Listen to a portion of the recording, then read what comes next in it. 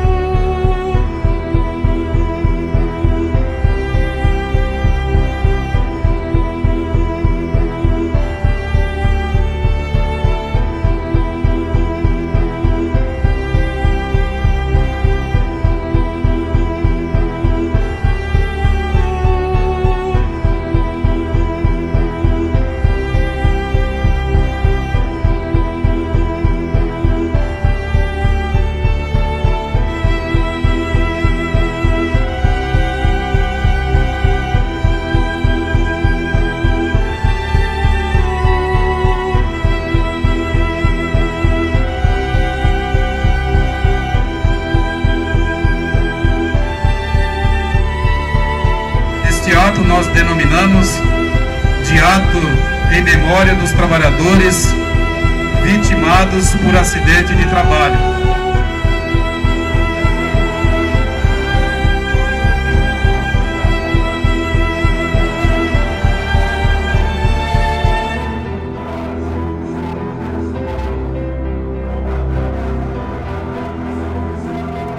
Vários dirigentes sindicais fizeram uso da palavra quando tem uma máquina ligada, se tem um perigo. Se a condição que ele foi prestar o serviço estava totalmente segura. Nós somos a peça mais importante que tem dentro de uma empresa. É cobrança de metas, cobrança por produção. Lutando pela vida, lutando para crescer. A sua jornada não é 12 horas. O problema não é nosso. Esse tipo de acidente não se evita apenas com água se evita cobrando das empresas a valorização da vida dos trabalhadores. E o Sindicato da Alimentação de Catanduva também participou do ato em favor da vida através do seu presidente Sérgio Augusto Rizzi. Infelizmente, é um fato que aconteceu e a gente espera que, que não aconteça mais. Estamos aqui todos nós tristes, sabemos que era um jovem, né? Está aqui a avó dele presente é, em nome aí do, da, da, alimentação de Catanduva, a gente externa todo o sentimento nosso, da família. E a gente fica até sem saber o que falar, porque era muito jovem, novo, tinha uma vida muito grande pela frente aí. Todos nós sabemos que quando tem uma máquina ligada, se tem um perigo. E mais responsável é, é quem não fica ao lado para ver isso.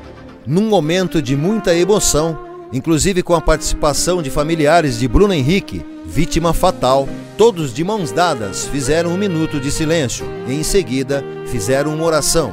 Nelson Joaquim, presidente do sindicato, encerrou o ato pedindo que todos se abraçassem com o abraço da paz.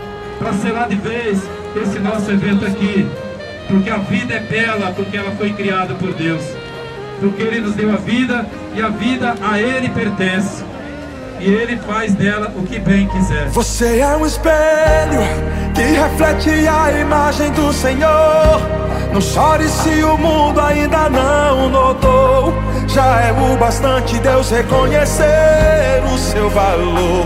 Você é precioso, mais raro que o ouro puro de Ofir. Se você desistiu, Deus não vai desistir.